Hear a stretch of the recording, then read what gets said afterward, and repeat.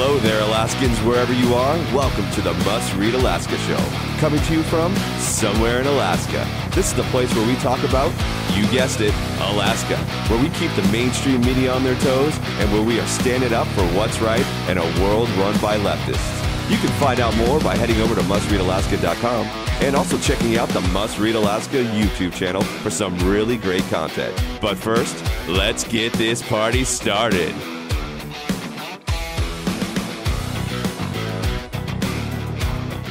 Thank you, Scott. Welcome aboard, everybody, to Must Read Alaska, coming to you from somewhere in Alaska. Well, guess who we have on the show today? We've got Mountain Mike Gordon. He's a writer, he's a former Anchorage Assemblyman, longtime owner of Chilkoot Charlie's, kind of a legend around here. And I'm also kind of a fan. In fact, I think I'm the president of his fan club. He's got a new book out called Dagnabit, which is hot off the press. And I am going to recommend it to all of our listeners as a great book for Christmas. And everybody needs to go out and get a copy of this book and give it to somebody this Christmas. It's called Dagnabit. It's by Mike Gordon. Welcome to the show, Mike. Thank you, Suzanne. Are we going to just confess right now that you're in Hawaii on vacation? Can we just kind of get that clear, clear the air on that? Yeah, I'm sorry. I, I know you're suffering under abject uh, sort of circumstances up there. I, I watch the weather every day and shiver at the thought of coming home tomorrow. Yeah, yeah, it's like two degrees today, and and we're, we're and and John Nikiski's in. Uh, John John Quick is in Akiski. John, how, how how cold is it over there where you are? Like, well, we are suffering down here. You know, it's uh, woke up in parts of the Kenai Peninsula were negative 30 degrees. So uh, pretty chilly here. And uh, we had a great weekend though. We uh, just a little bit of a update. We had a big event at our hardware, my hardware store, Nikiski Hardware and Supply, where Santa was there, reindeer was there. We passed out 450 gifts, brand new gifts to kids uh, that showed up. We partnered up with a local nonprofit to do that and had probably close to a thousand people come out for a free community event. So we're pretty excited about the turnout there, and very excited to have the legend uh, Mike Gordon here on the on the uh, show with us today. Yes, we are. So, Mike, you you we we've been looking at this book for a while, and I've I've got it in my hand, and I'm just absolutely fascinated by the layout. You've got all these people who have have written these uh, these uh, I guess these liner notes for it saying that it's a it's a great book, and I agree. And how long have you been out writing this particular book? Well, um, a lot of the material in this book was written previous to the publication of my uh, first book, Learning the Ropes. Um, and because of the constraints imposed um, upon writing a memoir, keeping it tight, um, uh, I didn't have room to put a lot of the stories that I'd already written. So much of the book was um, was already written before um, before I actually started to to put it together.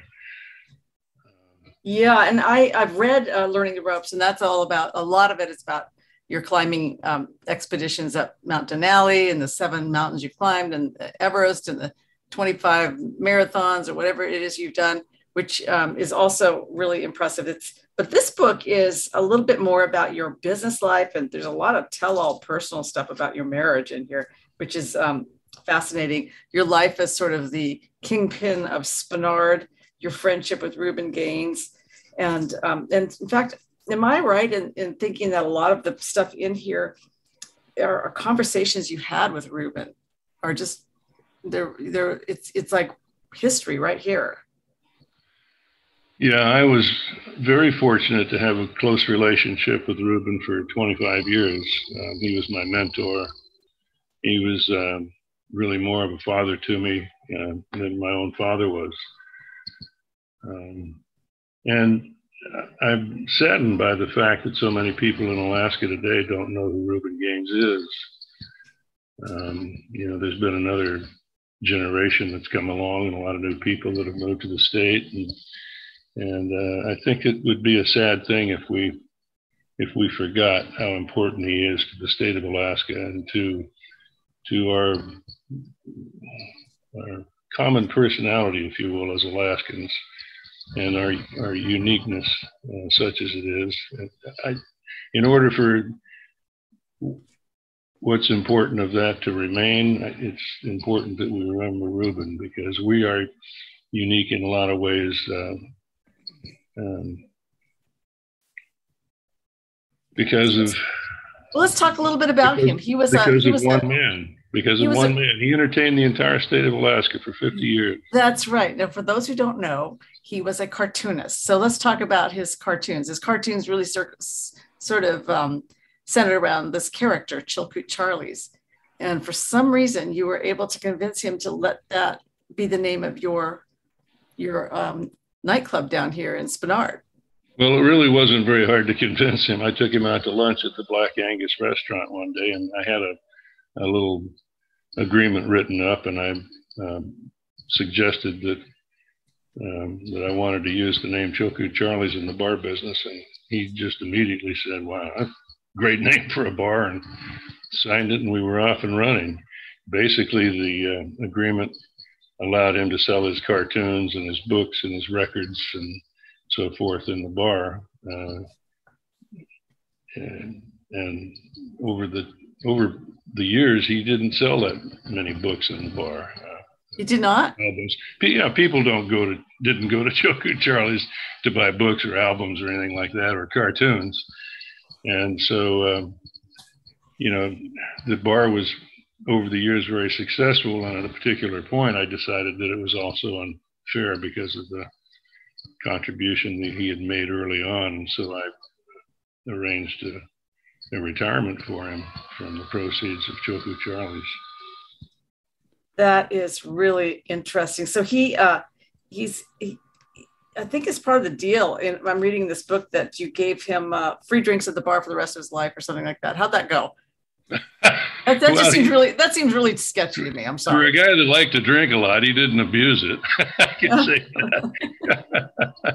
that. uh, he actually got himself like into trouble with that one time up in Fairbanks. He walked into the Fairbanks, well, actually the Ester Chilkoot Charlie's after my Fairbanks operation got burned down. He went up there to visit his friend uh, Rusty Heurlin, who was, uh, was one of the finest artists in Alaska ever produced. And uh, he walked into Chilkoot Charlie's, and I had a bartender working there by the name of Jim Abels. Ruben walked in with Rusty in tow and said, Mike Gordon, um, I have an arrangement with Mike Gordon. I, I can drink free at Chilkoot Charlie's for the rest of my life. Abel said, Oh, is that true? So uh, Abel's a character in his own right, set him up with, he six packed him with screwdrivers, both of them. So by the time I got there, there were screwdrivers all over the bar, and uh oh, and the party took off from there. Was just getting started. Well, how did you end up getting into the the bar business in the first place? You came up to Alaska after after you graduated from college. Am I right? Um, no, um, I, I came up to Alaska when I was ten. okay. And you, I, you, you weren't in college then. You weren't that smart. No, I wasn't. I graduated from Anchorage High School in 1960, and I went to the University of Alaska in Fairbanks my freshman year. And then I went to the University of San Francisco. Uh, That's right. You, and you went down there, and then you came up in a car. You... Yeah, I, I, I came up in actually I came up in a Volkswagen camper towing a four by six trailer with everything that I owned in it. Mm-hmm. My pregnant wife and a dog that went into heat the day that we left Redding. Great. and my uh, my little daughter. Uh, yeah. Anyway, I I I went back to uh, to California to finish my college education, and I ended up because um, I hadn't I got married my junior year and I didn't finish it, and I went back down there and, and I ended up going to work to support my family instead of going to school, and it took me 46 years to get back to graduating from the University of San Francisco, which I did in 2011. Wow.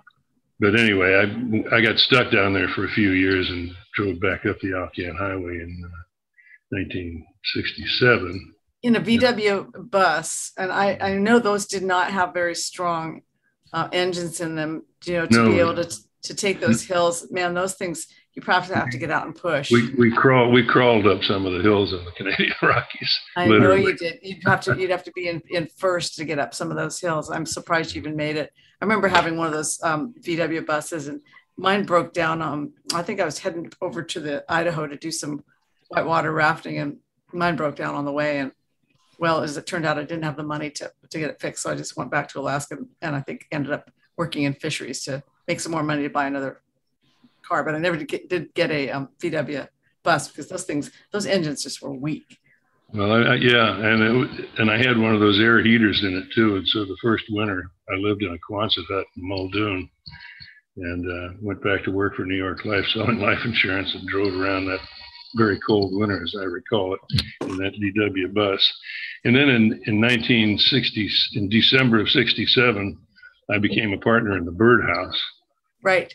With Johnny Tegstrom and Norm Rokeberg, and we ran. And, and, and Norman, where was the Birdhouse located for people who don't know?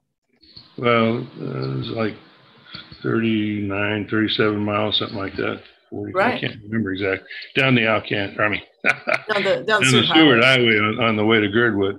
Exactly. It was in it was in Bird. Right. At Bird Creek. Mm-hmm. And we ran it for a year, and then we sold it to Dick Delac, who ran it for many years after that. And um, a year to the day after we sold it, um, I opened up Chilkoot Charlie's in Spenard and and your uh, and your relationship with Ruben, um, you know, it, it, how did you get the money to open up Chilkoot Charlie's? Because well, that that was back in the oil days, wasn't it? Yeah, yeah. Well, it was actually a little bit before that. Um, I I met when I had the birdhouse with Norm and John. I I met a fellow by the name of Bill Jacobs who was an attorney in Anchorage, and I convinced him of the idea of uh, taking the birdhouse format and uh, an Alaskan themed bar into Anchorage where all the people were. Did he buy off on that? Did what? Did he buy that? Did he think it would work? Yeah, yeah. He he borrowed twenty thousand dollars from his mother, and that was our down payment for the Alibi Club that we bought from Skip Fuller and Jack Griffin. Mm-hmm. It was basically a Fourth Avenue bar in Spenard, Mm-hmm. Um, and we paid back his mother, I believe, within within the first year. Oh man! So you guys, you just came roaring out of the gate and did great. It did, yeah. It was like holding on to the the rear bumper of an accelerating vehicle, trying to keep my legs moving fast enough to keep up with it. So, uh, Mike, this is John Quick. Um, you know, Chilkoot Charlie's it was was and is arguably the most famous bar in Alaska. What do you attribute that success to? Was it right timing, good staff, good marketing plan? Um, you had success over decades. And most people are lucky to have success. You know, keep it a couple years. You you kept it multiple decades. How do you? Uh, what do you attribute that to? I noticed you didn't mention good management. certain amount of luck involved too. I mean, uh, opening a bar up during a a boom period. Uh, certainly got us off to a good start, but it was it was a good idea, un, unarguably. Um, all the bars that existed in Anchorage at the time that I opened up the Birdhouse were either strip joints or neighborhood bars, or they were mimicking outside operations in one way or another. And there was, I mean, at, at that time, Juneau had the Red Dog, Fairbanks had the Malamute, little Homer had the, the salty dog. Yeah. But Anchorage, Anchorage didn't have anything like that. So that was that was my idea, and it turned out to be a pretty good one. So, so let's talk about the the windmill up front. Tell us the story about the windmill. Well, uh, let's see. It originally uh, uh belonged to um, the guy that had the liquor store, Cut Rate Kid, on Fireweed Lane. Um, and he he died, and the business went out of business. It was uh, Gillum, who was uh, the father of Gillum, who owned McKinley Finance um, or McKinley Investments. Anyway, uh, the, the, windmill was sitting there and it was not uh, there for any purpose anymore. He had, uh, Gillum had brought it up from Oregon and constructed it as a, uh, a landmark. And it was during the early 80s, Anchorage was booming. There was a guy uh, by the name of uh, Mafia Mike who had a pizza uh, parlor. Did you see his name? Did you see his name was Mafia Mike? Mafia Mike, yeah. He, he had a pizza parlor and he was a colorful character. He would advertise his pizzas on TV and he'd, he'd wear a black fedora, you know, and and a black shirt and a white tie, and, and he would act like a, a mafioso advertising his pizzas. Anyway, uh, he bought the windmill, and uh, he was going to use it for a landmark at another location out in Midtown. And right about that time, the, the crap hit the fan. Sheikh Yamani opened the spigots. The price of oil went from $40 to $10 a barrel overnight. And it dashed a lot of plans of a lot of people including Mafia Mike's. And so um, here he was the owner of the windmill, and uh, he didn't have any need for it anymore. But the people who owned the property wanted him to get it off of there. yeah. So he didn't know exactly what to do, and he asked around, and somebody told him, well, "Why don't you go talk to Mike Gordon? He'll buy anything." that's that's what he told me, um, which is not entirely untrue. Um, and I explained that in the book. Uh, so anyway, I, the deal was that uh, he would give it to me uh, since it was going to cost money to move it, and he didn't have any money. He said that he would give it to me as long as I uh, moved it, paid for the expense, and put a plaque on it saying that it was donated to the community of Spenard by Mafia Mike, which I did. It cost me about ten thousand dollars to move it and re-erect it, and I did put his plaque on there, which disappeared um, at some point along the way. No yeah, somebody, some some local Spernardian decided they need to go home. Yeah, you know, I used but, to say that I could I could put a thousand pound rock out behind the bar, and, and somebody would take it. Property of Chilkoot Charlie's on it, and somebody would steal it. Uh, yeah, yeah, it is a little bit of a mm, colorful neighborhood, shall we put? I mean, that's about the best I could say. But you ended up having to like put some barbed wire around it because all your um, your patrons were like climbing up that that windmill and they, they're bound and determined to kill themselves. And so what did you have to do now? Yeah, yeah, yeah. We uh, we did have to do that. Um, something we should have anticipated. I described that in the book too. The the loons, the Spenard loons. Yeah, the red-eyed Spenard loons. Yeah, I think that's how you described them. Yeah. Well, uh, what's your favorite story out of this whole anthology? It's it's a great it's a great book, people. It's called Dagnabit. It's written by Mountain Mike. Mike Gordon, who's uh, absolutely legendary in Alaska, as the owner of Chilkoot Charlie's, founder of it. And um, at this point, you're not the owner anymore. You sold the the business, but and you've retired. And actually, he's he's calling in today from a vacation in Hawaii. So life is good for Mountain Mike. Um, but what's your what you, when you think about this book and all the great stories, and there's so many in here. Which one do you think is the one that you like the best? That's hard to answer, Suzanne. Um, some of them are more meaningful to me emotionally than others. Um, we get real personal in some of them. Some of them all about your divorce and and and. and actually, you know, actually, this book is not as personal as the first book, um, uh, learning the ropes. That was more personal. This one has more history in it, and it does it does have some personal things in it. But I really bared my soul in learning the ropes, which is I don't feel like I did that in, in Dagnabit, although you know, I did uh, talk about some personal things. I, I think uh, Dale and Sherry, um, some of the ones about the people that I write about, Dale and Sherry is one, and um, Dan Lowell.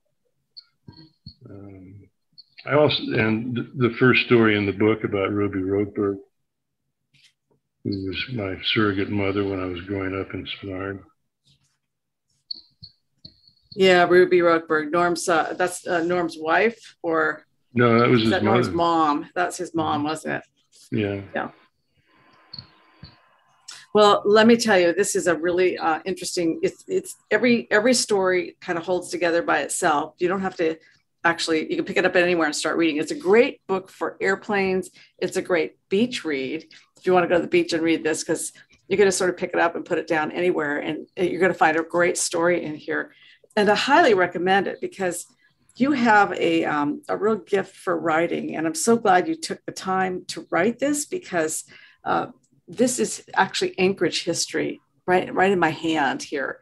Um, I'm pretty impressed. I've always wanted to write a book, and I think I've written a couple chapters to books that were written out there. I did a, a, a chapter on extreme sports once for an extreme sporting book, but here you've, you've this is your second um, anthology of stories, and um, this one really pretty much dedicated. A lot of Ruben Gaines in here, the cartoonist Ruben Gaines, a lot of uh, talking about your friendship with him. There's also a lot in here about you, know, you and Shelley, your wife, and and the ups and downs of trials of being married and being a notorious bar owner.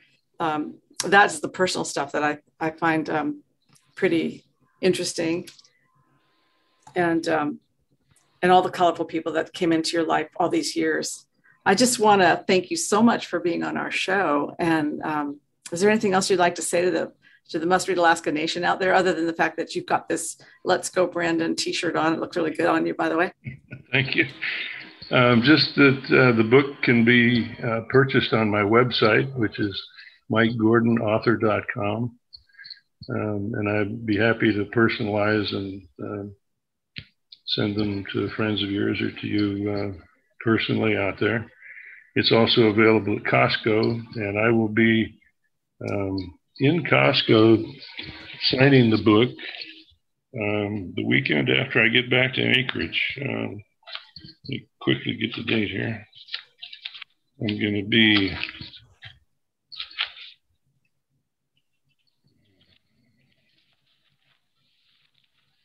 I'm going to be at the DeBarr Costco on the 18th, and I'll be at the Diamond Costco on the 19th, all day starting at 10 o'clock. And, and of course, the books should be available uh, at Barnes and Noble and other places. It's not available on Amazon yet. There's such a enormous operation that it takes a while to get things worked out with them, but um, it'll get there eventually. And I just want to say that I'm really proud of this book. Um, Ruben was a, a, dear friend, and uh, was, I'm so happy to try to resurrect him in, in the minds and in the knowledge of Alaskans. And I, I know that uh, Phil and John and, and, and Christine, his children, are, are very happy with it also, which pleases me a great deal. That's great. Well, you preserved him for history, and and and, and he's he's in history now. Nobody's going to forget him for sure. You made sure that that happened, and I enjoy all the cartoons that you've included in here by him. They're they're always um, they're so classically him. Uh, he was he had such a great talent for his uh, for his work. We really enjoyed. And, and you know, he, he designed the logo the logo for Chilkoot Charlie's too. Right. Yeah. Yeah. I read that in the book. Yeah. That's great. Well, thank you so much, Mike. I appreciate you being on the show. We've had my, Mountain Mike Gordon on our show today. I'm president of his fan club. I would love to have everybody go out and buy a copy of this book, Dagnabit by Mike Gordon, a great book for Christmas. And um, it's something you can give anyone, if anybody in your family, pretty much, it's not really rated R. I think anybody who's older than 18 pretty much get a kick out of this book. Thank you, everybody, for joining us. If you're a supporter of Must Read Alaska, please hit that donate button on the right hand side. And if you'd like to support the conservative side of the news, that's how you do it. Your support allows us to stay strong and just making sure that we balance out the mainstream media. So until next week, everybody, we're signing off now from somewhere in Alaska.